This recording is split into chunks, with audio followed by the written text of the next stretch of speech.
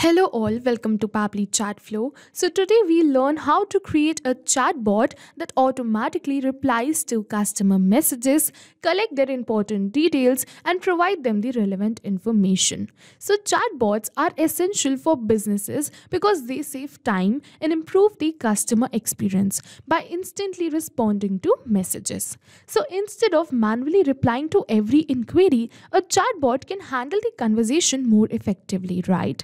So so this ensures that customers get the right information while businesses collect the important details automatically. And today, in order to create a chatbot, we are going to use Pabbly Chatflow. And we are going to explore the most important feature of Pabbly Chatflow, which is flows. So now from the left side of the bar, we have to simply go towards this flows option, all right. So as you can see that I've successfully opened my flows section. And now over here, you can see a button in the top right corner, which is add flow. So you simply have to click on this add flow in order to create a new flow all right so let's take an example today so suppose we offer java course and customers frequently ask about it on whatsapp. So instead of answering the same question repeatedly we can create a chatbot that instantly responds asks for the customer's qualification and email which is their details and then provide them the course details Alright, so now let's start by building a chatbot step by step. Alright, so the first step in creating a chatbot is selecting the trigger. This defines when the chatbot should respond. Alright, so here we are going to choose some keywords with the help of which the chatbot is going to get activated. So I'm just going to use some major commonly used keywords like hey, hello and hi. So I'm just going to select these as my keywords which is hey, hi and then hello. So yes, you can see that I've successfully added the keywords right over here. But not only the keywords, we also have to add regex right over here. But before adding this regex right over here, I'll explain it to you with a really simple example. So let's say one person might type and say, tell me about the Java course, while the another might write and say, I need more information about the Java course or another might say I'm interested in Java course. So instead of listing every possible variation as a keyword right over here, we use regex, which is regular expressions, to create a more smarter trigger all right. So in order to enter the regex right over here we have to use a specific pattern. But before entering the regex i'll just explain you this. So as you can see that it is written enter regex to match the substring trigger. Enable toggle for case sensitive regex so this functionality is only for case sensitivity. It is not mandatory to enable the toggle while entering the regex all right we are going to move on forward i'm just going to switch it on right over here and now we have to use a pattern in order to enter this regex. And if you want to learn more about this pattern, I'm just going to add a document link in the description box. You can check it out and learn more about this pattern. I'm directly going to enter my regex right over here as this which is interested purchase java and buy. So you can see that i've entered these regex right over here. All right. So we're going to move on forward. So next step is i want to ask the qualification of my customer or you can see of my lead. All right. For that i'm just going to go towards this actions right over here. And as you can see i'm just going to select this add question step. I'm just going to drag and drop it right over here. And yes you can see that we have successfully came up with this question. So i'm just going to simply connect this trigger and this question for that I'm just going to start the connection right from here and connect it right over here.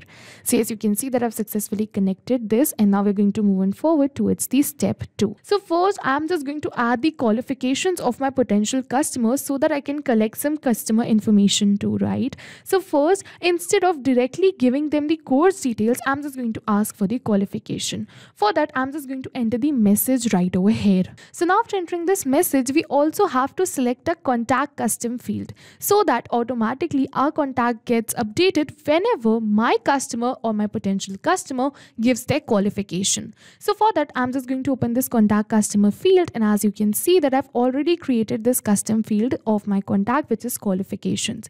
So if you want to know how to create this custom field, what you have to do is you have to go towards the left side of the bar towards the settings and over here you're going to get the option of contact custom fields. So I'm just going to open this contact custom fields in a new tab. And yes, over here you are going to see the contact custom fields. So you can see that I've created three custom fields right over here, which is address, email, and qualification.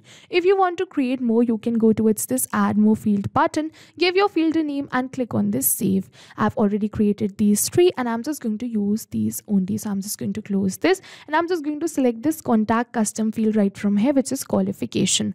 As soon as you're going to create a new contact field right over here, automatically that will appear right over here too. So you can simply simply select it right from here like I did.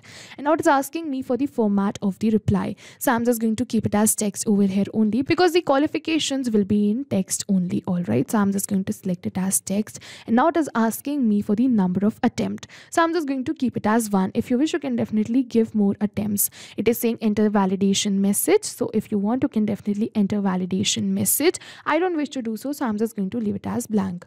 All right. So now I've successfully asked my customer or my potential potential customer about their qualification.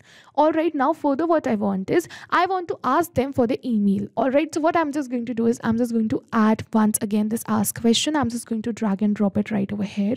And now once again i'm just going to connect it with this question thing. All right now after connecting this i'm just going to enter my message right over here. So yes you can see that i've successfully entered this message. Now after this again we're going to go towards this custom field. Select it as email this time. And now this time for the format i'm just going to select it as email right over here too. I'm just going to keep the number of attempts as one only. So yes, you can see that we have successfully asked our potential customer about their qualification and then the email too. Now what I want is after they are providing me the email, I want to send another message. So for that, I'm just going to start building a connection right from here. And as you can see that as soon as we're going to stop it right over here, it is saying choose content type. So here you simply have to select it as this, which is text plus button. So I'm just going to select it right over here.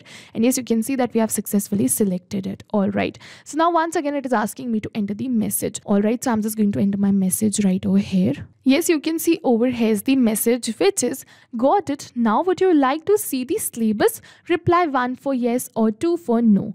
So I'm asking my potential customer, do they want to know more about the syllabus of this course? All right. So for that, I'm just going to add buttons right over here in this message to make it easy. So I said reply 1 for yes and 2 for no. So I'm just going to go towards this add button thing and I'm just going to add a text right over here which is 1. Once again, I'm just going to click on this add button and add another button which is 2.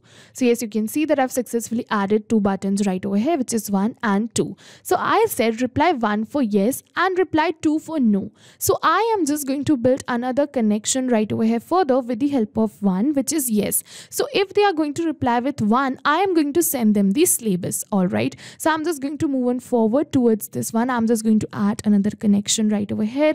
Select the content type as text plus button. Alright. Once again, I'm just going to enter the message which I want to send if they select 1. So yes, you can see that this is the message I want to send if they select 1. Alright, which is this, which says here's the syllabus of our Java course. You can see the syllabus of our Java course and then it is saying, would you like to book a free consultation call with our advisor? Reply yes to book and no if you need more time. Once again, you can see that I'm just going to add two more buttons right over here, which is yes and no. If they are going to select yes, then their consultation call would be booked. And if they are going to select no, then the consultation call will not be booked. For that, I'm just going to add this button right over here. I'm just going to click on this add button field. I'm just going to enter the text as yes right over here. And I'm just going to add another button and enter the text as no over there. So as you can see that I've successfully did this too. Now for the what I want is if they are going to reply with yes, I'm just going to send a message as this. So first I'm just going to add another connection right over here. Select the content type as text plus button as you know by now. Alright, so now I'm just going to enter the message which I want to send if they are going to reply with yes. Alright, so you can see that this is the message I want to send to my potential customer if they are going to reply with yes. But I'm just going to add a no message to right over here. For that, I'm just going to connect this no right over here with the content type text plus button only.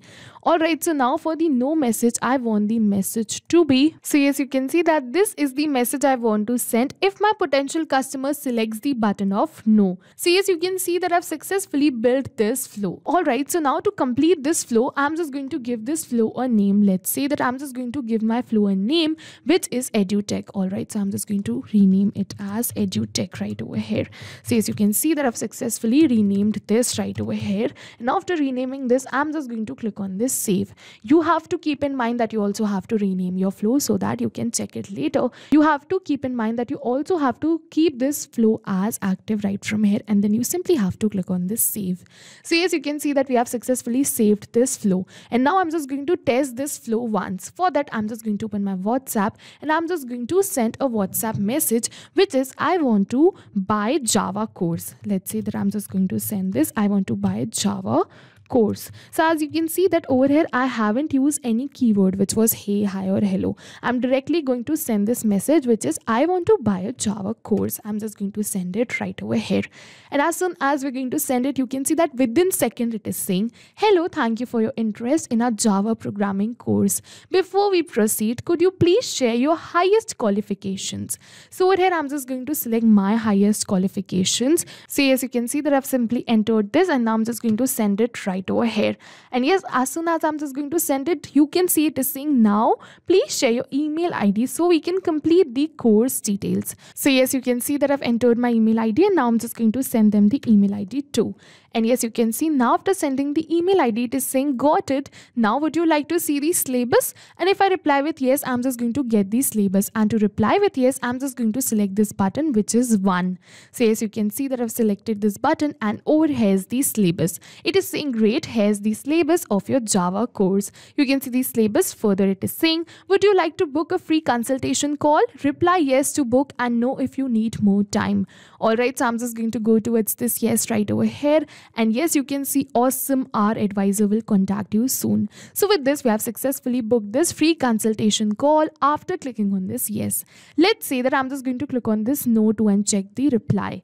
And yes, over here you can see that we have received the reply. It is saying no problem if you decide to enroll. Click on this enroll now link. Have a great day. Alright, so yes, you can see that with this we have successfully completed this flow. But I'm just going to go towards my Pabbly Chatflow account and we're going to go towards the left side of the bar and then we're just going to open this inbox section in a new tab all right over here you can see that in our inbox you can find the complete conversation which we had you can see that we received the message which is i want to buy the java course you can see the reply the message the reply and the message not only this you can see the customer shared their details like the qualification and the email id so you can see that over here is my customer details and over here you can see a field of contact custom field so i'm just going to open this field and yes you can see the details of my customer have been automatically added right over here. You can see the email and the qualification automatically added right over here without any manual efforts. All right. So not only replying and sending messages to customer, but also we can collect the customer inquiries and details and add it right over here like I did. All right.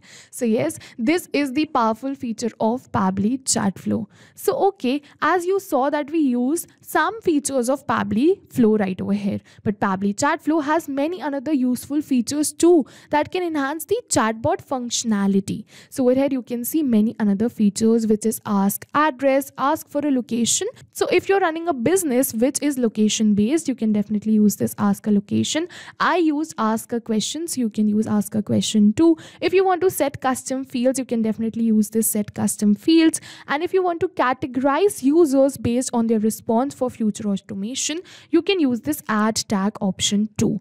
And if you want to connect the chatbot with external systems to fetch or send the data, you can use this API request. So as you can see that I specifically designed this chatbot for Java course inquiries only. But the same logic can be applied to any course or business. It will help you in automating responses, collecting important details and providing the instant support.